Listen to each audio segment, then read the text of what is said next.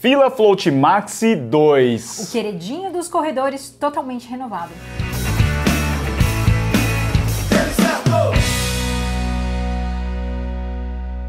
Eu sou Eduardo Suzuki. Eu sou Valerie Mello. E hoje a gente vai fazer o review do Fila Float Maxi 2. Ele mudou totalmente. Cabedal, entressola e solado é outro tênis, né, Val? Agora, o que não deixou de lado é o conforto. Isso é premissa do Fila Float Maxi 1 e 2. O Float Maxi 2 é um tênis para você usar nos seus treinos diários. É aquele tênis democrático para todos os tipos de corredores. Seja você um corredor iniciante ou uma corredora que está procurando um tênis para você usar na sua rodagem, no longão, ou começar a fazer aquelas primeiras provas, ele é bastante indicado, né, Val? Esse aqui é um modelo com máximo amortecimento da fila.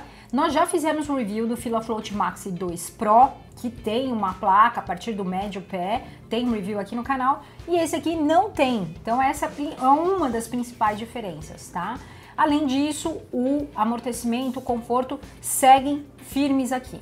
Esse tênis aqui ele tem 8 milímetros de drop. Vamos começar falando do cabedal do tênis. É o cabedal Dual Mesh, né? Duas camadas de mesh, Val. Isso torna o, o, cabedal mais resistente, mas não deixa de ser respirável. Eu acho isso muito importante porque, ó, se você observar aqui, você tem os perfuros na camada de baixo e por cima uma trama mais resistente justamente para você ter uma boa durabilidade. O sistema de amarração ele vai ter quatro passadores, mais um furo e furo extra para você que gosta de um ajuste maior no calcanhar. A lingueta eu gostei bastante, ela é fininha, com pouco enchimento de espuma. Eles colocaram aqui um passador que não se movimenta durante a sua corrida, porque tá preso nas laterais também a lingueta, Val. Sim, aí aqui facilita na hora de você calçar, porque ele não vai entrar assim junto, né, com o seu pé ele já fica posicionado no lugar certo e durante a sua corrida também não se movimenta. A forma desse tênis aqui, ela é média, sugiro que você pegue um número maior do que o seu tênis casual. Se você já é um usuário de fila, pode ser a mesma numeração. Muito bem. Aqui no colarinho temos enchimento, um bom acabamento. Isso é importante para trazer essa sensação de conforto, principalmente para quem tem é, aquele problema no calcanhar de Aquiles, como o Dudu, por exemplo, né? Que, que não, não gosta né, de quando é muito sequinho. Então ele tem um bom enchimento. Aqui a gente vai ter um puxador, mas ele é bem estreitinho, não dá para ajudar no calço. Eu acho que ele acaba ficando mais como um detalhe. A gente vai ter alguns pontos refletivos que vão ajudar aí para segurança, né, do corredor corredor que corre à noite. Outro detalhe também importante, Val, é a palmilha que ela é perfurada aí para ajudar também a escoar água e também não deixar tão úmida e pesada. Exatamente, Dudu. Bora falar da entressola float, Val. Nova espuma, né? Isso, nova espuma nessa entressola ela, o float ele foi renovado. Eu gostei muito dessa nova composição. Eu confesso que o, o Fila Float Max 1 eu achava ele um pouco firme, apesar de ter toda essa força para ter o amortecimento. Mas eu acho também que seria a combinação entre a borracha, tá?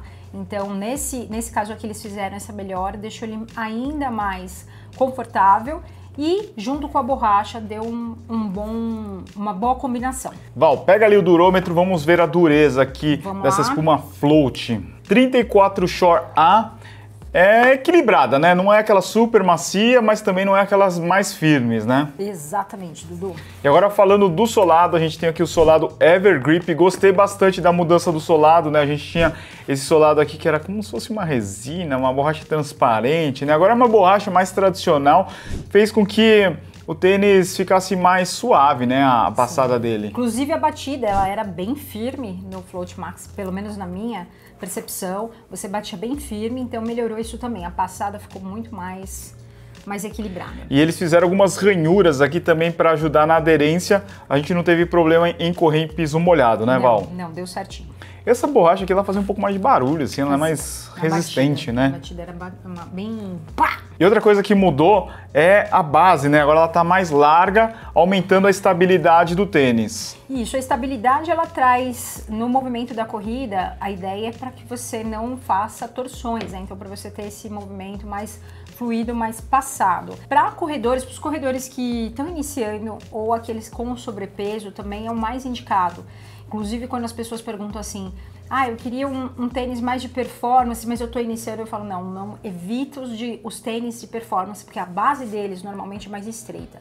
Então aqui você tem uma base bem maior, tá? Flexibilidade, Val, ele não é tão flexível, né? Naquela nossa escala de 1 a 3, 1, Só né? Só que o médio pé pra frente, Acho que né? até por causa da espessura, né, isso, da espuma, né? Isso, é bem grossa. Ele, ele, não tem placa, mas ah, como ele tem uma boa área aqui de amortecimento do, do flow, então você não consegue fazer esse flexionar aqui só no parte da frente mesmo, tá? Vamos pegar a nossa amiga balança? Vamos pegar a nossa amiga balança, olha aqui, já tá na mão. O Fila Float Maxi 2 no tamanho 41 tá pesando 314 gramas. E no tamanho 36 feminino, 247 gramas. Pontos positivos desse tênis, Val. Durabilidade, é um tênis bem resistente, então para você que quer correr muitos quilômetros, ele é bastante indicado, né? Outro ponto é a estabilidade para os corredores iniciantes, corredores que também têm um sobrepeso e mesmo os corredores que buscam rodagem, eu sempre indico um modelo que tenha uma boa estabilidade, justamente para não acontecer essas torções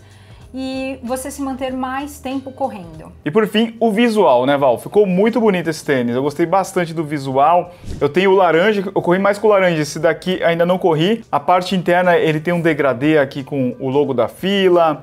O solado também, né? A gente vai ter aqui um degradê. Ficou bem bonito esse tênis. É, não adianta a gente falar que o corredor não se preocupa com isso, porque se preocupa sim. A gente gosta de tênis bonito e principalmente que você possa usar em vários momentos da corrida, em, com vários, em vários momentos, em vários dias, né? Então, durante os seus treinos, durante provas, a gente curte um tênis bonito. Pontos de melhoria. O peso, Dudu. É verdade, peso, Val. Por mais eu sei, eu sei. Eu Aumentou sei. muito o material, né? É, eu sei que tem que ter essa combinação de. Você tem que ter um, para um tênis que tem durabilidade, você tem que colocar mais material, não tem jeito, entendo. Mas eu acredito que ainda dá para melhorar. Ainda essa combinação do float aqui na entressola, eu acho que ainda é possível dar uma, uma adaptada e tirar um pouco do peso. Eu que sou pequena, eu sinto muito o peso ainda, tá? Então eu acho que ainda dá para melhorar. Preço de lançamento R$ 699,99. Ótimo preço, né? Ótimo preço para um tênis de amortecimento e com boa durabilidade. E a gente queria saber de você o que vocês acharam do novo Fila Float Maxi 2. Coloca nos comentários, vai ser bem legal ler a sua opinião. Será que o pessoal correu com um? Sim, é, o Float Maxi tem. É um dos mais vendidos, né? É, o pessoal curtiu muito o 1. Eu acredito que vai curtir mais ainda o 2. Espero que vocês tenham gostado de mais um vídeo. Compartilha, joga lá no seu grupo de WhatsApp, se inscreva aqui no nosso canal e deixe o seu like. Muito obrigado por ter assistido até aqui. Nos vemos na próxima. Valeu, Val! Valeu, Dudu! Um abraço a todos!